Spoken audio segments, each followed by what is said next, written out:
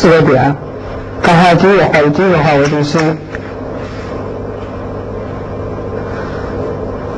你看第一个花到盘子的画出来盘子的距离是线，然后第二个画的点，它应该是对应的。第一个花它的花边到盘子边上的距离，前面假如花的画那个距离，画面不是圆的，它不是对折的。盘子的距离比一下这么多，拉手拿的位置，找到到盘子的距离。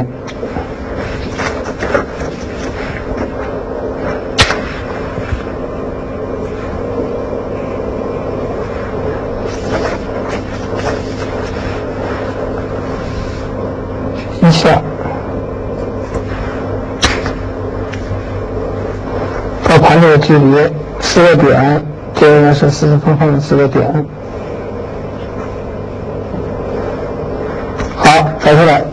再找它们两个这两个点它的弧形的一个点，你还是成为弧形的，这两个点的弧形的点在这里。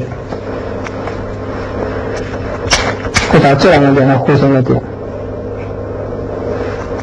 这样是这样的，差号这样是这样的，因为这样你眼光看的是一个弧形的。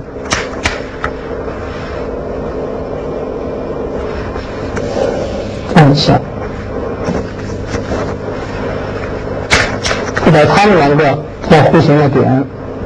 啊，成一条线的一条弧线的一个点，在这个位置。下一个呢，就是在两个花，这两个花它的交叉点的上方，交叉点，它们两个交的应该是在这个位置，它的上方，这就是第二层了，第一层已经做完了，交叉点的上方这个位置，它也要成了弧线，它们两个不能是一样长的，它应该是这样弧着上来的。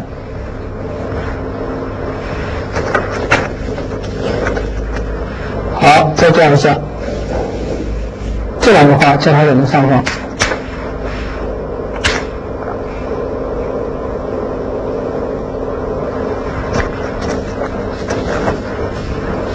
这样下，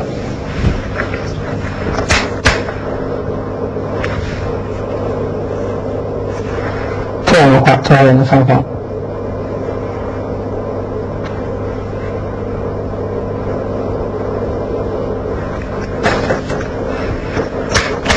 然后就这两个画交叉点的上方，